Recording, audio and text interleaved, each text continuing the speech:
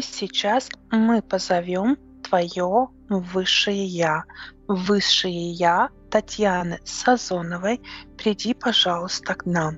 Один, два, три. Есть. Это твое высшее? Да. Хорошо.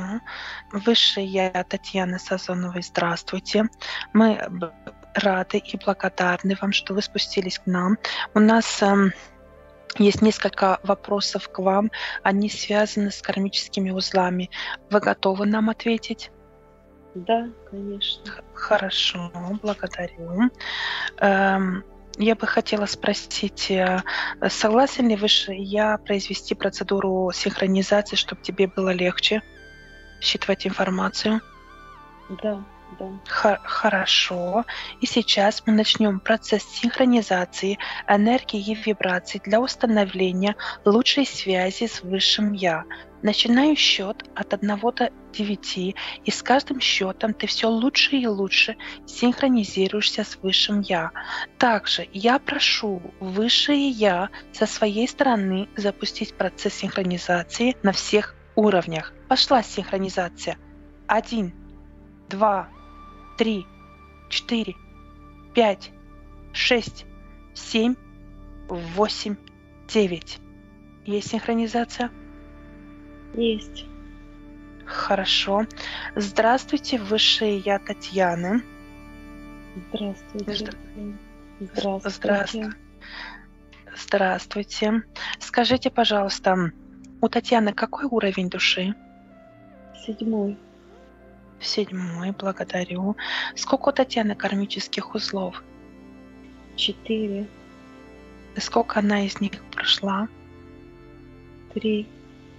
Три. Еще один остался. Хорошо. Благодарю. Высшее Я, скажите, пожалуйста, как действует кармический узел между людьми, которые проходят этот узел? Узел один, а граней много. Каждый проходит свою грань. Каждый трется о свою грань, и получаются следы у каждого свои.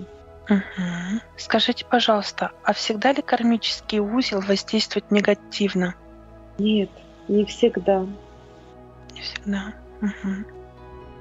Есть и позитивные, позитивные прохождения узла. Все в единую линию узлов. Для одних это на, на претерпение, Угу.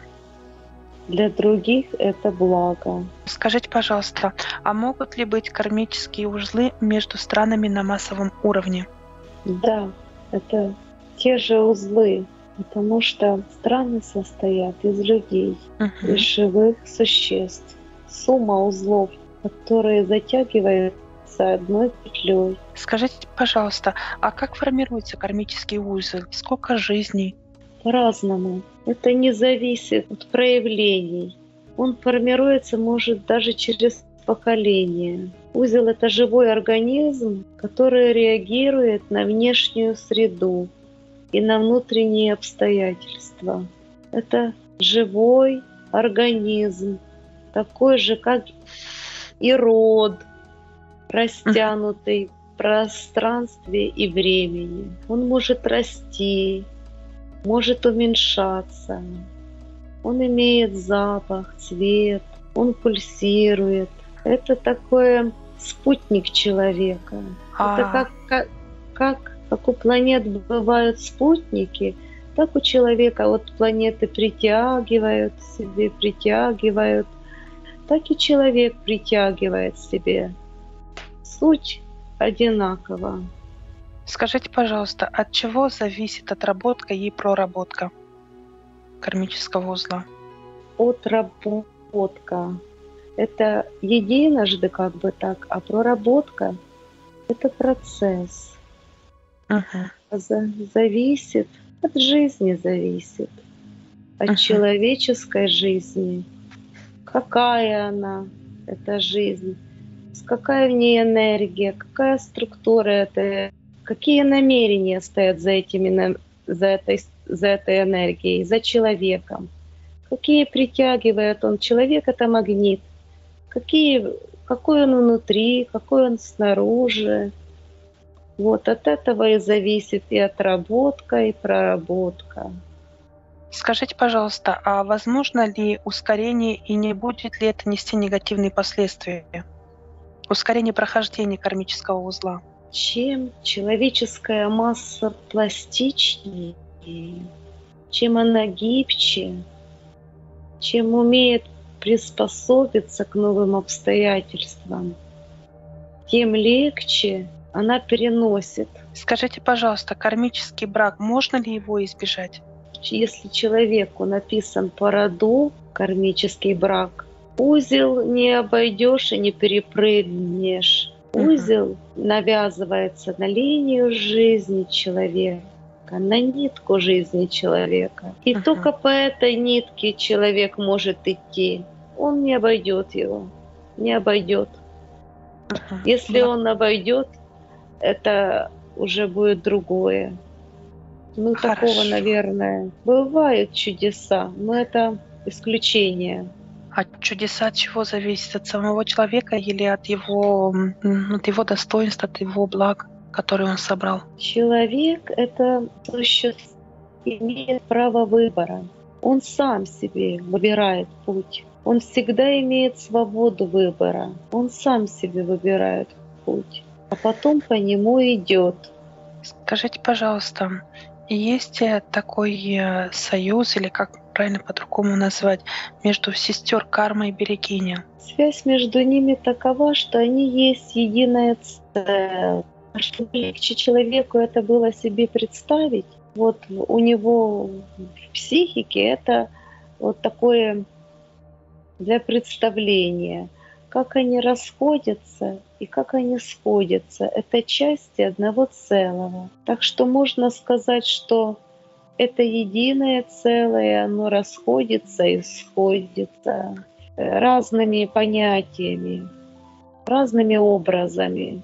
Как человек, где человек вырос, какое у него восприятие, так он себе это и представляет.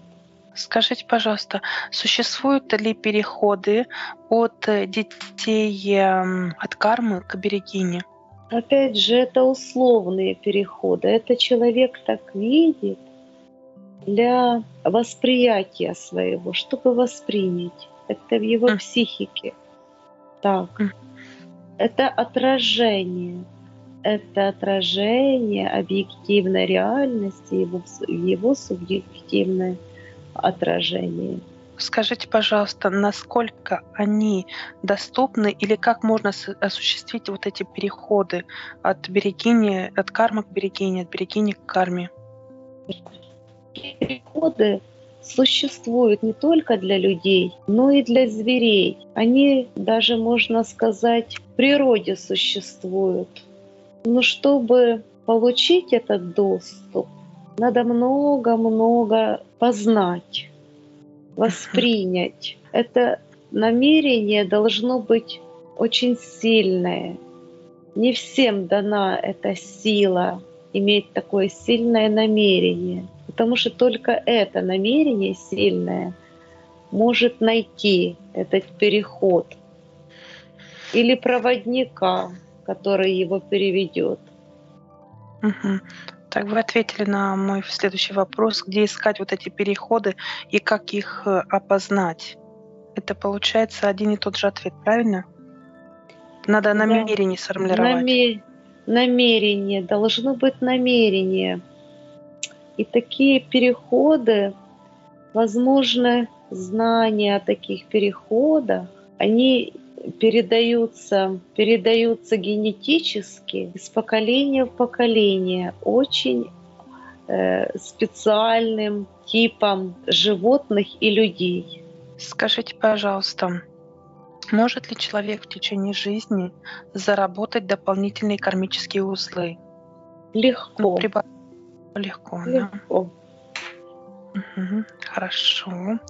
И как наиболее эффективно проходить кармический узел, связывающий мужчину и женщину? Да как же, браться за руки и проходить. Если он вас связывает, так его надо пройти. Это такая задача. Скажите, пожалуйста, а как наиболее эффективно проходить кармический узел, связывающий человека с кем-то из родственников или родом в целом? Вот не муж и жена, а родственники, допустим, сыновья там, братья. Ну, общаться надо. Обща... Только- Общаться. Только во взаимодействии, в трении, во взаимодействии шлифуется человеческая особенность. Когда будете взаимодействовать, тогда будете шлифоваться. Тогда Мгм. будет виден сам камень, сама его ценность и качество. Скажите, пожалуйста, а как распознать человека, не занимающегося духовными практиками? Какой у него кармический узел? Это вопрос риторический.